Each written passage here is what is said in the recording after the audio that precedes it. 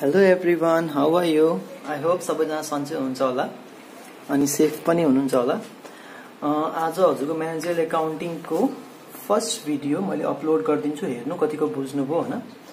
अनि त्यही अनुसार चाहिँ अब फिडब्याक दिनु होला ओके म्यानेजर एकाउन्टिङको हामी फोर्थ च्याप्टरमा थियौँ। यसको फर्मेटमा त मैले लेखाएको थिएँ income स्टेटमेन्टको income recognition measurement and reporting अब आज प्रब्लम सल्भ गरेर हेरौँ कतिको बुझ्नुहुन्छ। हल्ले कस्तो लाग्छ होला है च्याप्टर एकदम सिम्पल छ होइन टुवेल्भ मार्क्सको आउँछ टेन मार्क्सको लङ क्वेसन टु मार्क्सको सर्ट क्वेसन ल two thousand seventeen spring question number sixteen page number ninety seven निकालेर क्वेसन हेर्नुहोस् ओके म क्वेसन यहाँलाई देखाइदिन्छु पढ्छु पनि हेर्नुहोस् ल two thousand seventeen spring question number sixteen Sumeru trading provided the following information from its cost record for the first quarter of the current year हामीलाई के दियो त? प्रोडक्सन युनिट दिएछ त्यहाँ। हामीले कति प्रोड्युस गर्यौँ त? बाह्र हजारवटा युनिट सेल्स कति गर्यौँ त? दस हजारवटा युनिट अनि हाम्रो क्यापेसिटी कति छ त? नर्मल कन्डिसनमा हामीले कति प्रोड्युस गर्न सक्छौँ त? Normal capacity eleven thousand units अनि यो प्रोड्युस गर्न हामीले के के युज गर्यौँ त? Material cost per unit eight direct labour cost per unit six variable selling and distribution cost per unit 4 variable manufacturing cost per unit 5 हामीलाई मेटेरियल आठ रुपियाँको पर युनिट लेबरको चार छ रुपियाँ तिरेछौँ सेलिङ एन्ड डिस्ट्रिब्युसनको चार भेरिएबल म्यानुफ्याक्चरिङको पाँच। अनि टोटल फिक्स कस्ट कति छ त हामी? पचपन्न हजार छ हाम्रो। सरी टोटल फिक्स कस्ट कति छ त? पचपन्न हजार। अनि total selling and distribution cost कति छ त? ट्वेन्टी फाइभ थाउजन्ड यो टोटल फिक्स कस्ट होइन टोटल फिक्स म्यानुफ्याक्चरिङ कस्ट हो। यहाँले मिस्टेक भयो टोटल फिक्स म्यानुफ्याक्चरिङ कस्ट हुनुपर्ने यहाँ ओके यहाँ टोटल फिक्स म्यानुफ्याक्चरिङ कस्ट हो अनि fix selling and distribution cost यहाँ दिएछ सेलिङ प्राइस पर युनिट कति हो त थर्टी हो कति थर्टी अब हामीलाई के सोधेछ त income statement under absorption costing reconciliation profit under variable costing एउटा मात्रै इन्कम स्टेटमेन्ट बनाउँछ हामीलाई अनि रिकन्सिलेसन बनाउँछ अनि त्यो पनि कसको? भ्यारिएबल कस्टिङको हामीसँग एब्जर्प्सन कस्टिङको नेट इन्कम हुन्छ। भ्यारिएबल कस्टिङको पनि नेट इन्कम आइहाल्छ। त्यसपछि सोधेछ explain the reason for differences in operating income shown by variable and absorption costing यो दुवैको एन्सर फरक फरक आउँछ। जहिले पनि फरक फरक आउँछ। किन फरक आएको त्यही होला बताउँछ। किनभने हाम्रो प्रोडक्ट कस्ट डिफ्रेन्ट हुन्छ। त्यसैले गर्दा त्यति मात्र एन्सर लेख्छौँ। ओके ल स्टार्ट गरौँ। ल। सबभन्दा पहिला त होला है। फर्मेट पनि यहाँ बनाएको छु यसमा स्टार्ट गरौँ लेख्न सोधेछ हामीलाई income statement one number A नम्बरमा सोधेछ हामीलाई income statement income statement statement under absorption costing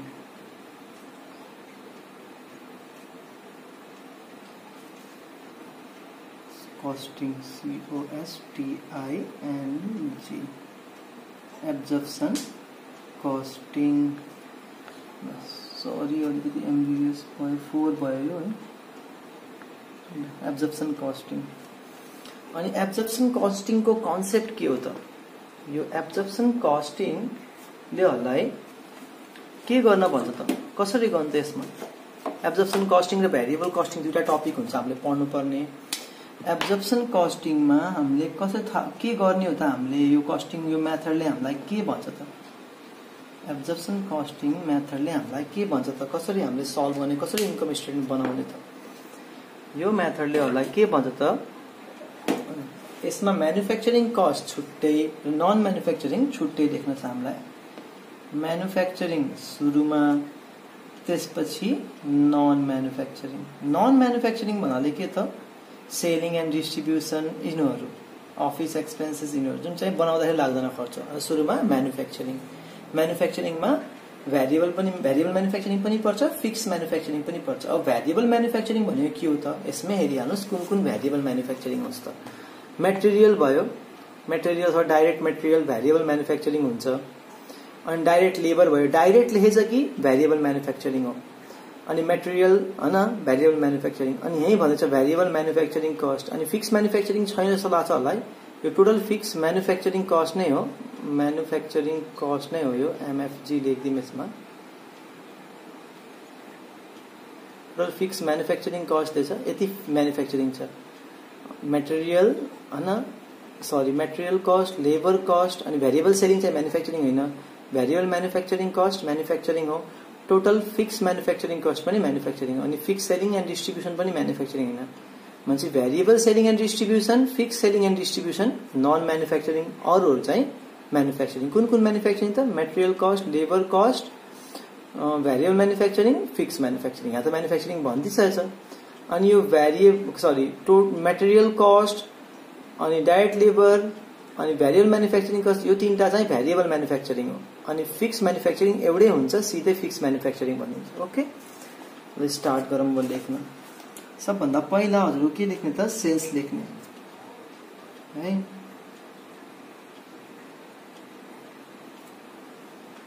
rupees rupees त एमाउन्ट एमाउन्ट लेख्ने हुन्छ त्यहाँ है सबभन्दा पहिलाहरूले के लेख्ने त सेल्स लेख्ने सेल्सको लागि हामीलाई के चाहिन्छ त sales unit into selling price per unit क्वेसनले हामीलाई त दिएको हुनपर्छ? ल हेरौँ। सेल्स युनिट र सेलिङ प्राइस पर युनिट छ कि छैन? सुरुमै छ सेल्स युनिट दस हजार। सेलिङ प्राइस पर युनिट लास्टमा thirty thousand A thirty rupees sorry thirty भनेपछि ten thousand into thirty into thirty ten thousand to thirty कति भयो त? Three lakh three lakh. अब हामीले यहाँ लेस गर्छौँ के त? एब्जर्सन कस्टिङमा कस्ट अफ गुड्स सोल्ड अब कस्ट अफ गुड्स सोल्ड निकाल्ने प्रोसेस हुन्छ हाम्रो। कसरी निकाल्ने त? सबै म्यानुफ्याक्चरिङ कस्ट लेख्ने। त्यो मध्ये पनि कुनवाला त? भेरिएबलवाला भेरिएबलमा म्यानुफ्याक्चरिङ कस्ट के के छ त? हेर्नुहोस् न मेटेरियल कस्ट पर युनिट छ कति त एट भने हामीले लेख्छौँ। मेटेरियल कस्ट त्यो पनि कति त?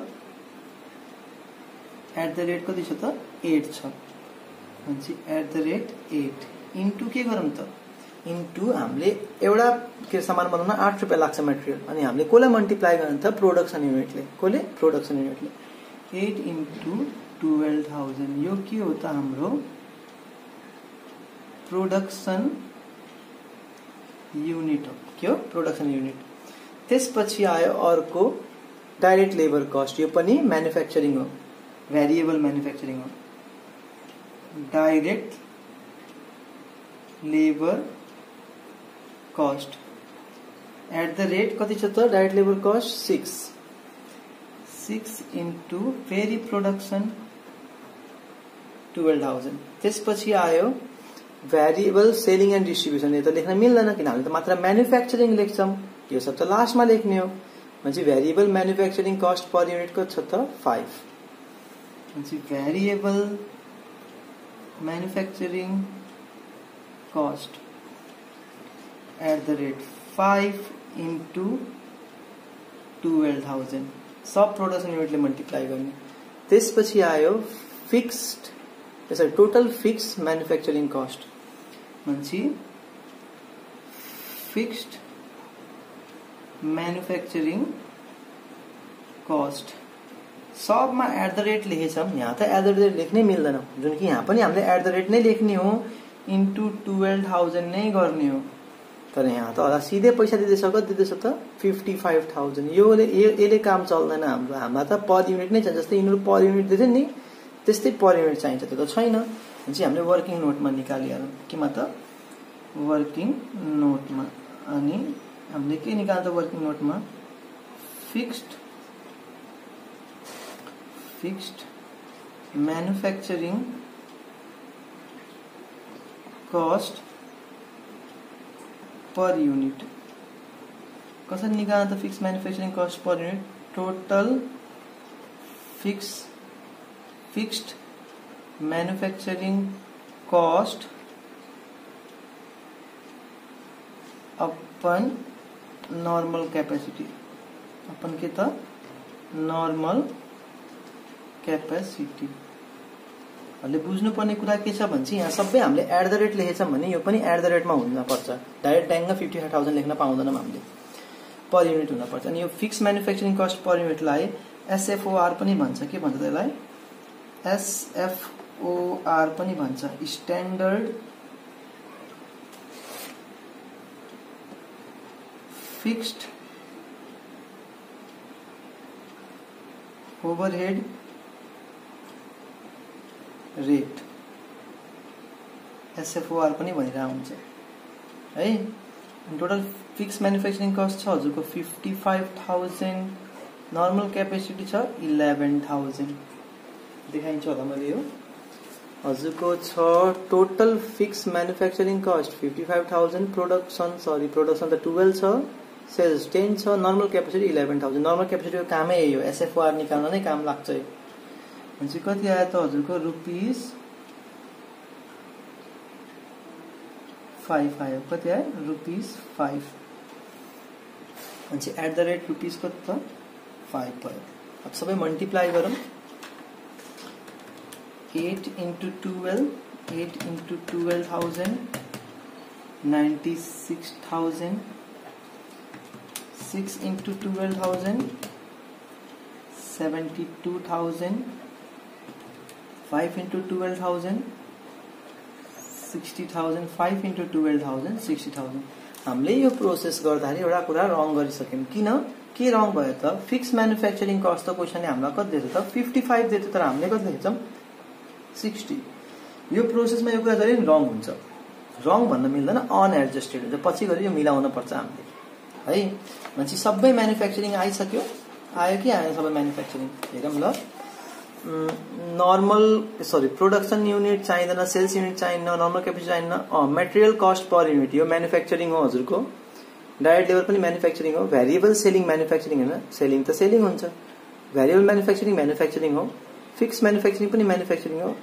फिक्स सेलिङ पनि म्यानुफ्याक्चरिङ होइन दुइटा हामीले चाहिँ भ्यारिएबल सेलिङ र फिक्स सेलिङ छोडेर सबै कस्ट लग्छौँ हामीले। भने सबै हाम्रो म्यानुफ्याक्चरिङ आइसक्यो। अब यो सबै एट द रेटवालालाई जोड्यो भने five five ten ten six sixteen sixteen र एट ट्वेन्टी फोर यो कति आउँछ त? एट द रेट ट्वेन्टी फोरमा चाहिँ यो के हो त? हाम्रो प्रोडक्ट कस्ट हो। एउटा प्रोडक्ट बनाउँदा लाग्ने खर्च हो हाम्रो प्रोडक्ट कस्ट ट्वेन्टी फोर अनि यसलाई जोड्यो भने कति हुन्छ त?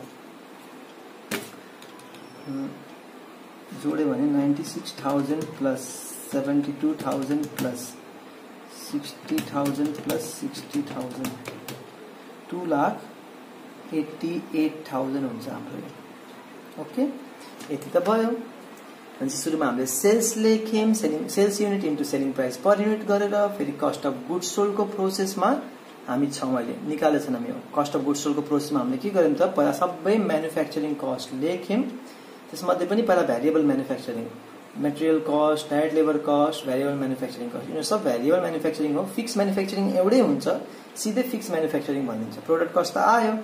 अब हामीले के गरौँ त?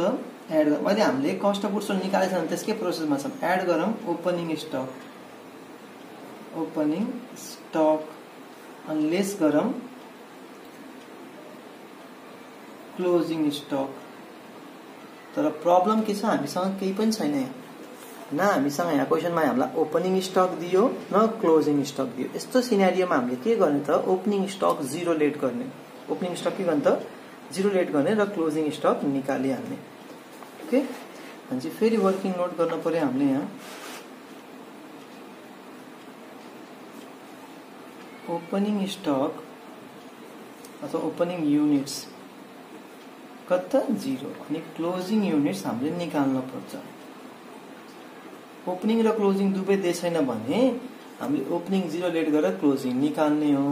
दुइटा मध्ये एउटा दिएछ भने अर्को निकाल्न मिल्छ क्लोजिङको फर्मुला आएर। अनि क्लोजिङको फर्मुला के हो त? Opening units plus production units minus sales units simple छ फर्मुला हामीसँग सुरुमा कति थियो त? जिरो थियो। प्रोडक्सन कति गऱ्यौँ त? ओपनिङ युनिट्स जिरो छ हामीसँग। प्रोडक्सन कति गऱ्यौँ त हामीले? टुवेल्भ थाउजन्ड बाह्र हजार बनायौँ। हामीसँग टोटलको सुरुमा जिरो थियो बाह्र हजार बनायौँ। टोटल भयो बाह्र हजार। त्यसमध्ये कति बेच्यौँ त हामीले? सेल्स युनिट कति छ त हाम्रो? दस हजार। बाह्र बनाएर दस बेच्यौँ भने कति बच्छ त? दुई हजार युनिट्स बच्छ। यही हाम्रो के हो त? क्लोजिङ युनिट्स हो। ल। ओपनिङ स्टक कसरी निकाल्नु यही प्रोडक्ट यसैको लागि निकालेको। At the rate twenty four into opening units कति त zero at the rate twenty four into opening closing units कति त टु थाउजन्ड भनेपछि यो मल्टिप्लाई गर्ने जिरो एड गर्छ, मैले मल्टिप्लाई गर्ने फोर्टी एट थाउजन्ड लेस गर्छौँ। अब हाम्रो के आयो त? कस्ट अफ गुड सोल त आयो सिओजिएस त आयो। तर के त? बिफोर एडजस्टमेन्ट किन बिफोर एडजस्टमेन्ट लेखेको त मैले? कस्ट अफ गुड सोल आइसक्यो हाम्रो घट यो घटाउने यतिकै आउँछ यो जिरो जोडेर यो घटाएमै आउँछ तर किन बिफोर एडजस्टमेन्ट त? किन हामीले यहाँ रङ गरिसकेछौँ? यहाँ थियो fifty five thousand fix manufacturing cost fifty five thousand तर हामीले लेखेछौँ कति त? सिक्सटी ओभरले बढी लिँदैछौँ फाइभ थाउजन्ड बढी लिँदैछौँ त्यो हामीले हटाउन पर्छ। त्यसैले गर्दा त्यो एडजस्ट गर्न बाँकी भएको भएर cost of goods before adjustment ल। ए फोर्टी एट थाउजन्ड घटायो भने कति आउँछ त यसबाट? टु लाख फोर्टी थाउजन्ड आउँछ। टु लाख फोर्टी थाउजन्ड अब हाम्रो मिस्टेक हामीले सुधार्नु पर्छ। यो प्रोसेसमै यस्तै हुन्छ। है यो प्रोसेसमै यस्तै हुन्छ। अन एडजस्ट के बिफोर एडजस्टमेन्ट भयो अब एडजस्ट गरौँ। अब हामीले पहिला के गरेको थियौँ हामीले बढी लेख्दै थियौँ। भने चाहिँ अब हामीले घटाउन पर्छ। एडजस्ट गर्दा घटाउनु पर्छ लेस कम लेखेको भए थप्न पर्थ्यो। बढी लेख्ने घटाउन पर्छ। हामीले बढी लेख्थ्यौँ ओभर एप्लाइड गर्दै थियौँ। ओभर लेख्दै थियौँ। Over applied of fixed manufacturing cost fixed manufacturing cost कति बढी लेखिदिनु भयो त अहिले? लेख्न पर्नेहरूले चाहिँ पचपन्न हो लेख्नुभयो कति? साठी पाँच हजार बढी लेख्नुभयो।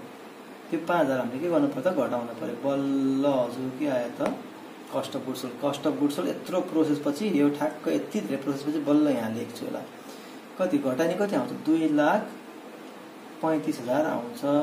Two lakh thirty five thousand त आयो। अनि हामीले यहाँ के भनेछौँ? सेल्सबाट के गर्नु त कस्ट अफ गुड्स हो लेस गर्ने हो त्यसैले गर्दा मैले यहाँ के को साइन बनाउँछु त?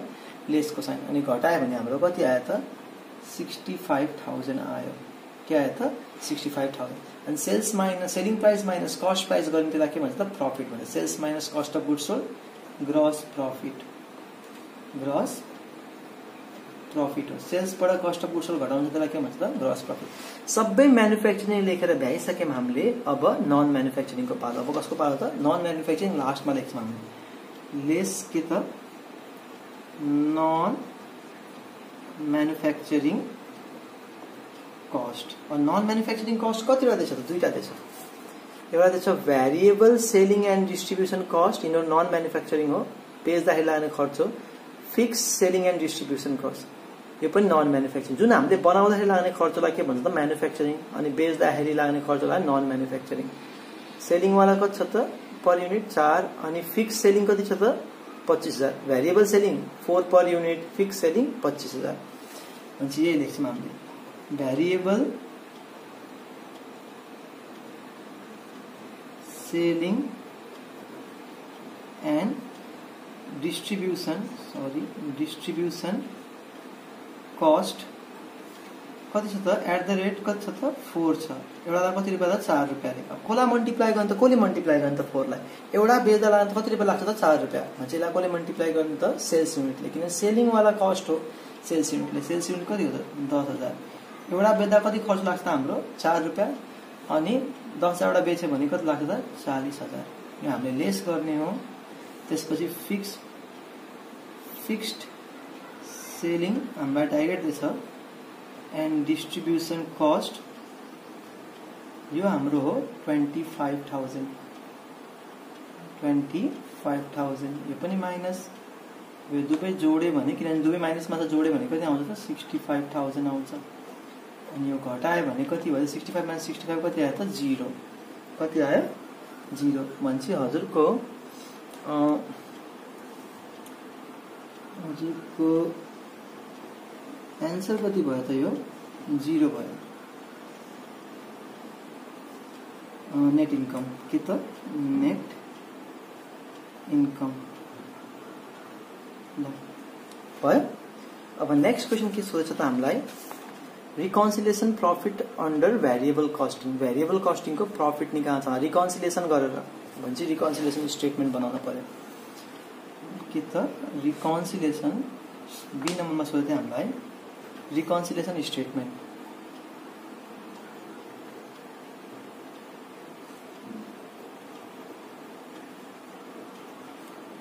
एमाउन्ट एउटा मात्रै एमाउन्ट बनायो भने चाहिँ दुइटा बनाउनु जरुरी छैन अनि एउटा मात्रै युज गर्छौँ हामीले यहाँ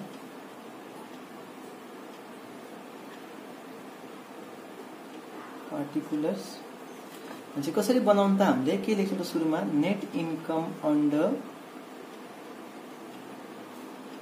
हामीसँग कसको नेट इन्कम छ त? एब्जर्प्सनको छ। Net income under absorption costing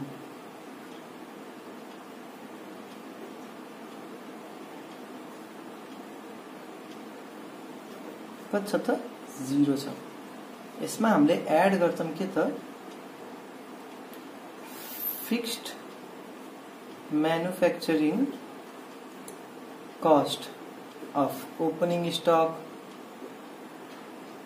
opening units धेरै नै हुन्छ ओपनिङ स्टक अनि लेस के गर्छौँ त? अहिले निकाल्न सक्नु पर्यो है। लेस के गर्छौँ त? Fixed manufacturing cost of closing stock.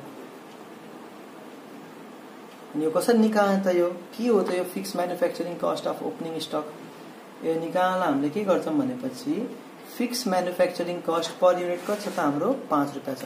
Fix manufacturing cost per unit अथवा एसएफ एसएफओआर कति छ त? फाइभ छ इन्टु ओपनिङ स्टक कति त?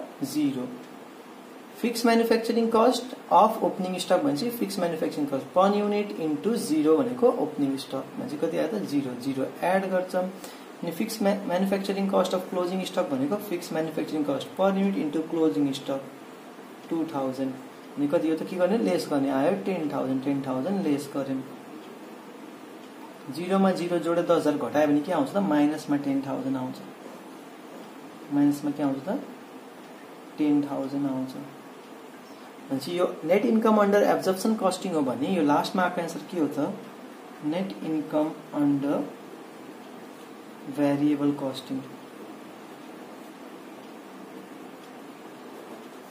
भयो? रिकन्सिलेसन स्टेटमेन्ट पनि भयो बी नम्बर अब सी नम्बर हामीले यो युज गर्दैनौँ है।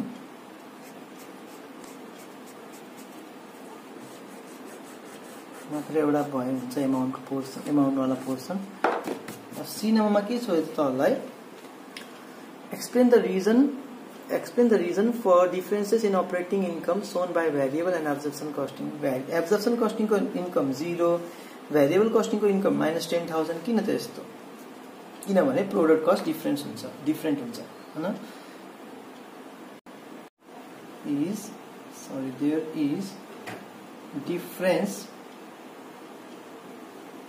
in profit अथवा net income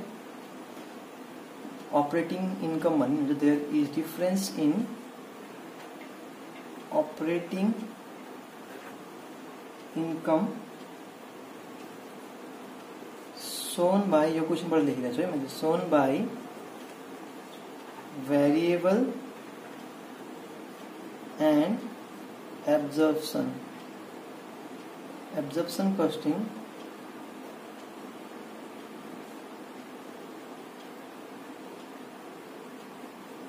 because there is difference in product cost. Product cost. Answer के हो त? दुवैको प्रोडक्ट कस्ट फरक भएको भएर मैले भ्यारिएबल कस्टिङबाट पनि यस्तो नेट इन्कम बनाएको भए अहिले बुझ ए सरी इन्कम स्टेटमेन्ट बनाएको भए अहिले बुझिहाल्नुहुन्थ्यो। यसको प्रोडक्ट कस्ट ट्वेन्टी फोर छ भने यसको अर्कै आउँथ्यो। तर हामीले त बनाएन। ओके अब यो हेर्नुहोस् कतिको बुझ्नुहुन्छ अनि मलाई भन्नुहोस् है। Thank you